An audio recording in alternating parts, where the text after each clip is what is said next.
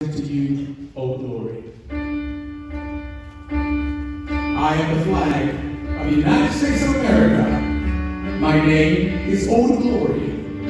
I fly atop the world's tallest buildings, and I stand watch in America's home of justice.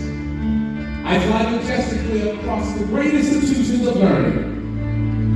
And I stand guard with the greatest military power in the world. Look up and see me. I stand for peace, truth, honor, and justice.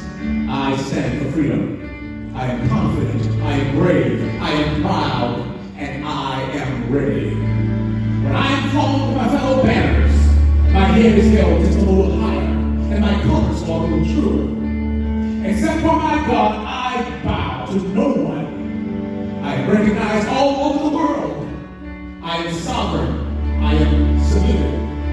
Respected. I am honored. I am loved. And yet I am feared. I have fought every battle of every war for more than 200 years.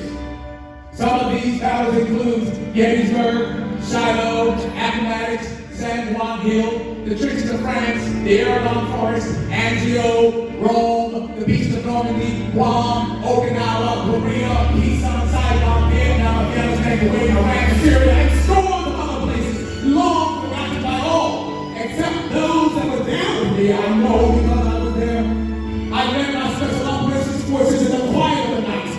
tip of the spear. I saw them fight fearlessly throughout the globe every day of the year. I watched over them even during the casualties of Desert One, and they still love me. And now they're the fighting force that you see.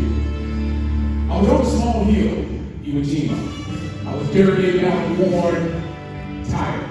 My soldiers and my sailors, my airmen, my coast guardsmen, my marines, they all cheered me. And I was so very proud. I was at the Ground Zero in New York City on September the 11th as cowardly fanatics attacked America. I was raised from the ashes of once proud buildings by brave firefighters. These were heroes who risked their lives to save others. showing all that America, although bloody, will never be beaten because those who one nation, under God, indivisible, with liberty and justice for all. I have been soiled, I have been burned, torn, and I have been trampled on in the streets of my own country. And when it is done by those whom I have served in the it hurts. But hear me today when I say, I will overcome because I am strong. I have slipped through on the earth, and from my vantage point on the moon, I stand of space. I have been that silent witness to all of America's finest hours. But my finest hour comes when my stripes are torn into strips to be used as bandages to cover the wounds of my fellow comrades on the field of battle. Also when I fly at half-mast, to honor my soldiers and my sailors, my airmen, my coast my marines.